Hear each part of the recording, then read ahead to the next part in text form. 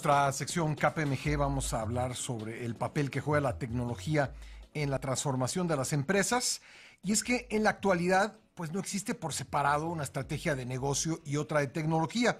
Hoy se fusionan estas dos para conformar una estrategia competitiva impulsada por tecnologías de la información.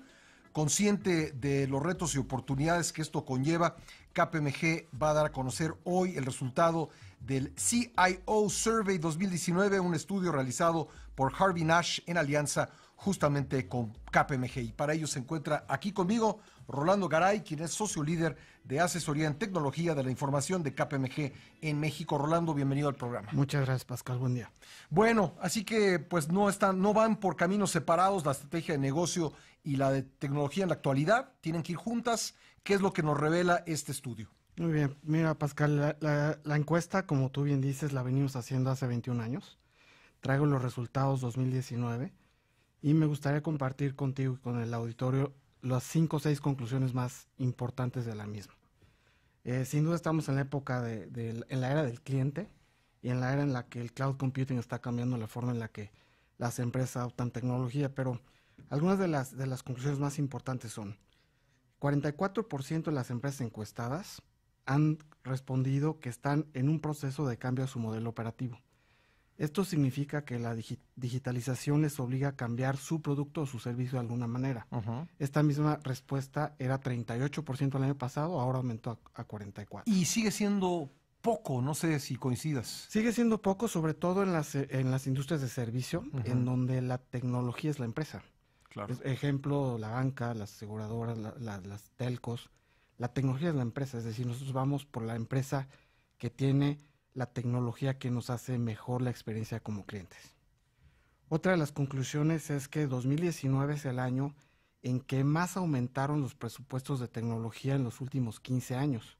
Y hay cuatro eh, tendencias en tecnología que están provocando este aumento en presupuestos. Uno, sin duda, es la ciberseguridad. El Internet vino con un costo muy alto, que es la seguridad nos cambió la vida, nos ha, dado, muchísimas ventajas, pero la seguridad es el costo que estamos pagando los usuarios de Internet y hay que invertir en ese tema.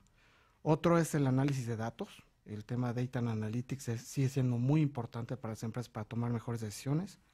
Otro es la automatización y la inteligencia artificial, en donde cada vez más empresas adoptan este tipo de tecnologías para hacerse más eficientes. Y la cuarta, por supuesto, son los proyectos de transformación. Por otro lado, una de cada cinco empresas ya tiene proyectos en temas innovadores como Internet de las Cosas, que es el mundo de los sensores. Eh, también tienen ya proyectos, una de cada, de cada cinco, en Robotic Process Automation y en inteligencia artificial, que como decíamos, lo que busca es bajar los costos operativos de la compañía. Otra conclusión importante es que las empresas respondieron que calculan que en los próximos cinco años, uno de cada diez puestos de trabajo va a ser sustituido por un robot. Eso es impresionante. Te deja frío. Sí. Sin embargo, 70% de las empresas piensan que esos puestos que se pierdan van, se van a, crear Se van a crear otras funciones de trabajo donde la gente se va a poder acomodar. Sí. Sin embargo, el impacto no es menor, ¿no? Claro, incluso los optimistas dicen que se van a perder esos trabajos, pero se van a crear trabajos mejor pagados y con más tiempo libre para quienes los ocupen. Correcto. Eso dicen los optimistas. Sí, lo que sucede hoy en día es que eh, los robots están haciendo funciones que son repetitivas, que son altamente manuales. Estamos en la primera generación de robots, es lo que más comúnmente encontramos en las empresas, donde los robots hacen de manera más eficiente, más segura, más, eh, eh, más contundente los trabajos repetitivos que hoy hacen las compañías. Un ejemplo muy, muy sencillo es la aprobación de una cuenta de gastos. Las empresas, empresas tienen personas aprobando cuentas de gastos hoy y ya se están intercambiando por robots que lo hacen mejor y más eficiente. Eh, otra, otra conclusión importante es, y esto no, no te va a sorprender, que 2019 ha sido el récord en crímenes en ciberseguridad. La ciberseguridad, pues, es un tema que a todos nos compete. La gran mayoría de las empresas han sido ya afectadas de alguna u otra manera. Pocas la, revelan. Hay empresas que inclusive se tardan seis meses en darse cuenta que fueron vulnerados, pero, bueno, obviamente los presupuestos están aumentando.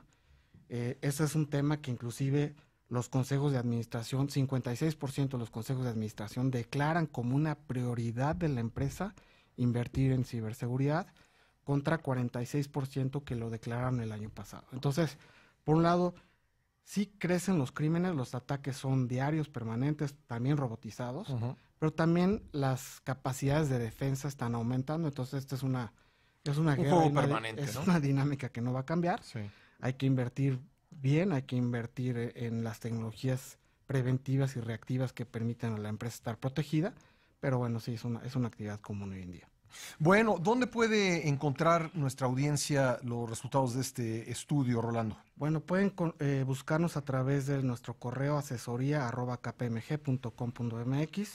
en nuestra página que es kpmg.com.mx les podemos ayudar o siguiéndonos en redes sociales. Te agradezco mucho que hayas estado con nosotros, Rolando, muy amable. Gracias a ti, buen día. Rolando Garay es socio líder de asesoría en tecnologías de la información de KPMG en México. Solo